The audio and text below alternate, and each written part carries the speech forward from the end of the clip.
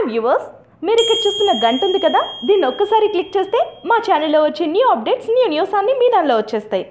మీ Bharat live CM గారు లేరు ఇప్పుడు నన్ను పట్టుకున్నారు మీరు.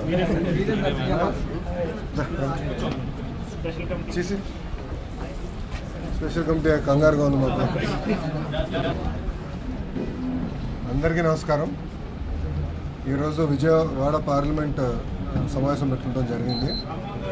దాంట్లో భాగంగా గడిచిన ఐదు నెలల్లో ఏదైతే సమస్యలు నా దృష్టికి తీసుకొచ్చారో ఎమ్మెల్యే వర్యులన్నీ ఆ సమస్యలన్నీ ఒక పద్ధతి ప్రకారం పరిష్కారం చేసే మార్గంలో మేము పెడతాం జరిగింది. దాంట్లో ప్రధానమైంది ఒకటి సుబాబుల్ రైతులది ఏదైతే వాళ్ళకి బకాయిలు ఏదైతే ఉందో ఆ కంపెనీ ఏదైతే ఇవ్వాల్సి ఉందో డబ్బులు వాళ్ళు ఎగ్గొడటం జరిగింది. అది నేను సీరియస్గా తీసుకొని అవసరమైతే రాష్ట్ర బడ్జెట్ నుంచి కొంతమేరకు ఆదుకోవాలని నేను చెప్తాం జరిగింది. ఫైల్ కూడా ప్రాసెస్ చేసి ఇప్పుడు అది మన ఫైనాన్స్ డిపార్ట్మెంట్ కూడా వస్తాం జరిగింది. ఇది ఒక సమస్య. ఇలాంటిదే అనేక సమస్యలు కూడా యుద్ధ ప్రాతిపదికంగా ఎట్లయితే పరిష్కారం చేయాలనేది ఒక ఆలోచనతో ఈరోజు మేము ముందరికి వెళ్తాం జరిగింది. నిన్నగాక మొన్నే కూడా ముఖ్యమంత్రి గారు కూడా మన సర్ప్రైజ్ విజిట్లు కూడా చేస్తాం జరిగింది. ఆ సర్ప్రైజ్ ఇన్స్పెక్షన్ జరిగినప్పుడు దాంట్లో ఆయన చాలా ఆదేశాలు జారీ చేస్తాం జరిగింది. ఆ మినిట్లు కూడా మేము రివ్యూ చేస్తాం జరిగింది. చేసి ఏదైతే ముఖ్యమంత్రి గారి సూచనలు ఆదేశాలు ఏదైతే జారీ చేశారో అవి కూడా పరిష్కారం చేయాలని ఒక నిర్ణయం తీసుకున్నాం. ప్రధానంగా విశాఖపట్నంతో ధీటుగా మన విజయవాడను ఎట్లా అభివృద్ధి చేసుకోవాలి? ఏమేమి సమస్యలు ఉన్నాయి? స్టామ్ వాటర్ డ్రైన్లో ఇంకా సమస్య ఉంది.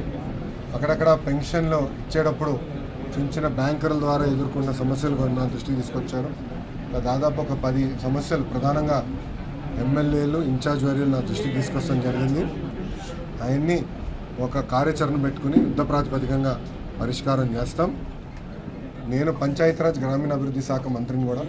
దాంట్లో భాగంగా నా కింద దాదాపు నాలుగు రూరల్ నియోజకవర్గాలు ఉన్నాయి దాంట్లో కూడా గ్రామాల్లో పంచాయతీరాజ్ గ్రామీణాభివృద్ధి శాఖగా ఏ ఏ సమస్యలు ఉన్నాయి ఎలా పరిష్కారం చేయాలి మా తరఫున కూడా ఇప్పుడు డంప్ యార్డ్లన్నీ పూర్తి చేయమంటున్నాము. మనం ఓడిఎఫ్ ఆల్రెడీ ప్రతి చేసాము ఇంకా వేరే వేరే ఏమేమి ఉన్నాయో కార్యక్రమాలు కూడా అన్నీ పూర్తి చేయమని ఎమ్మెల్యే వారిని కూడా కోరటం జరిగింది. తప్పనిసరిగా ఈ సమస్యలు ఏదైతే నా దృష్టికి తీసుకొచ్చారో ప్రతి నెల మేము రిపోర్ట్ కార్డు పెట్టుకున్నాం. నేనే మళ్ళీ ఎమ్మెల్యే వారికి చెప్తున్నాను. పోయిన మీటింగ్లో మీరు ఈ పది సమస్యలు చెప్పారు.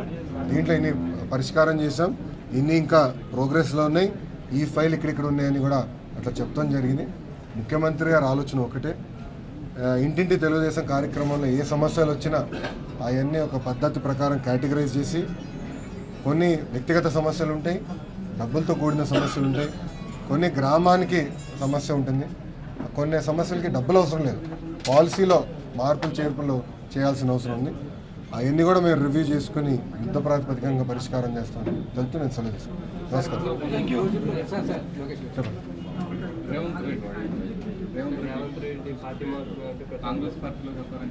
మీరే క్రియేట్ చేశారు. మీరే ఊహాగానాలు మీరే క్రియేట్ చేస్తారు. బ్రేక్లు మీరు పెడతారు. సమాధానం నన్ను ఇమ్మంటారు. ఆయన చెప్పలేదు పార్టీ చెప్పలేదు. నాకు ఎందుకు చర్చ. నాకు నాకు తెలియదండి. ఇంకా కలలేదు నేను మాట్లాడలేదు. నాకు అవగాహన లేదు. వెల్కమ్ బ్యాక్ ఉన్నాయని అవునండి. మీద ఇప్పుడు కలెక్టర్లందరినీ మేము అలర్ట్ చేశాము. ఎన్ఆర్డీఎఫ్తో కూడా రివ్యూ చేస్తున్నాము. సీఎం ఆఫీస్లో ఉన్న ప్రిన్సిపల్ సెక్రటరీ వాళ్ళతో కూడా రివ్యూ చేస్తున్నాము. రియల్ టైంలో మేము కోఆర్డినేట్ చేస్తున్నాం. ఎల్లుండి కూడా మేము సమావేశం పెట్టుకున్నాము. ఎందుకు పండగ కనుక రేపు ఎవరు ఉండకపోవచ్చు. అది కూడా రివ్యూ చేసుకుని ఎల్లుండి మేము సమావేశం పెట్టుకుంటున్నాం. చేసి ఎట్లా కోఆర్డినేట్ చేయాలో క్లోజ్గా మానిటర్ చేసుకుంటాం. సో మేము కూడా జిల్లా కలెక్టర్ ఆల్రెడీ ఎలక్ట్ చేశాము. మంత్రివర్యులు మేము కూడా టెలికాన్ఫరెన్స్ టైం టు టైం తీసుకుంటాం ఐదుగురు వేస్తారు కమిటీలో. మేము కూడా టెలికాన్ఫరెన్స్ టైం టు టైం తీసుకుంటాం ఎక్కడుంది సమస్య ఎలా మనం జాగ్రత్త చూసుకోవాలి అదొకటే కాదు. ఆంధ్ర రాష్ట్రంలో ఏమన్నా కూడా జాగ్రత్త మానిటర్ చేయమని సీఎం గారు చెప్పారు. మేము కోఆర్డినేట్ చేసి టైం టు టైం ముఖ్యమంత్రి గారికి అప్డేట్ చేస్తాం. రామ్మా నేను ఆల్రెడీ సమాధానం చెప్పాను. మళ్ళీ అదే ఎట్లా? స్పష్టంగా చెప్పా కదా మీరే ఊహానాలు అన్నా కదా మీరే బ్రేకింగ్లు పెడతారు. ఆయన చెప్పారా? పార్టీ చెప్పిందా? నేను చెప్పానా?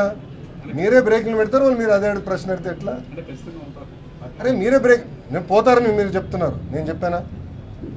అది లేనప్పుడు నేను సమాధానం చెప్పంటే ఎట్లా? రా. పెట్టింది మీరు ఊహాగానాలు చేసింది మీరు అడిగింది అన్ని మీరు అడిగి పెట్టారా? రేవంత్ గారిని అడిగి పెట్టారా? ఆయన స్పష్టంగా కూడా చెప్పేశాడు.